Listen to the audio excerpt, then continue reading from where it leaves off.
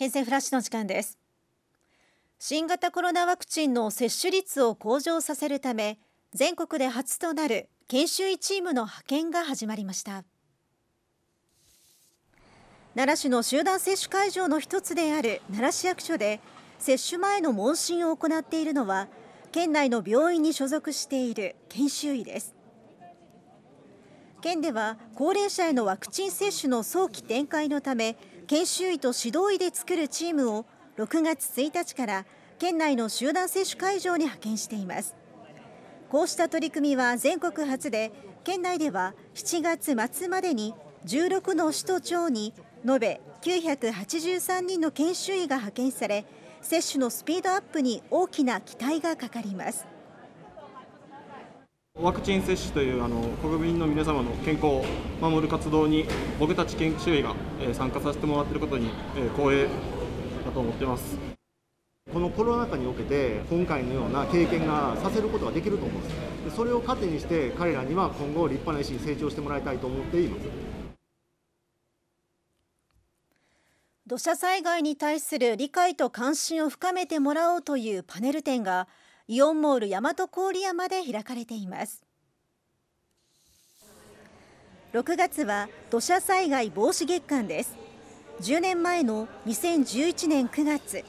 奈良県や和歌山県などの広い範囲に甚大な被害をもたらした紀伊半島大水害を契機に県では防災に関する取り組みを進めてきました。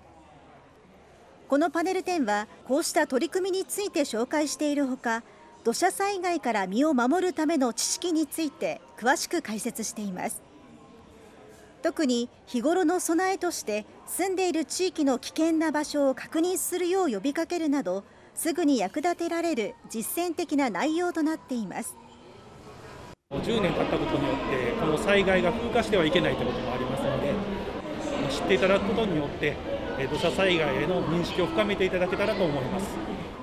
このパネル展は6月11日までイオンモール大和郡山で開催されていますではお知らせです。県では県内の事業主が安心して外国人を雇用できるよう相談窓口を開設しました。県は外国人の雇用を検討していたりすでに雇用しているものの労務管理や日常生活の支援などで悩んでいたりする県内企業のために相談窓口を開設しました。電話での相談はご覧の電話番号で平日9時30分から16時まで受け付けます。ただし土曜日日曜日祝日年末年始を除きます。またメールや訪問による相談も行っています。外国人材を円滑で適正に雇用できるようサポートしますのでお気軽にご相談ください。詳しくは奈良県外国人人材活用推進室。電話0742-27局の8812番までお問い合わせください。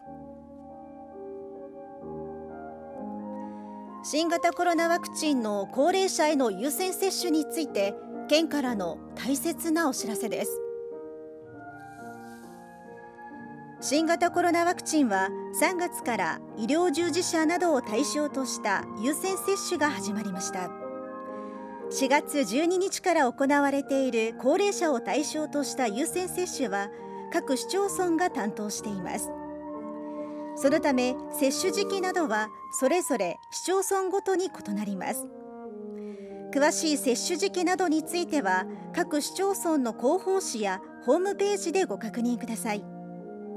県内では順次ワクチン接種が始まっていますので落ち着いて各市町村からの案内をお待ちください県民の皆様のご協力をお願いします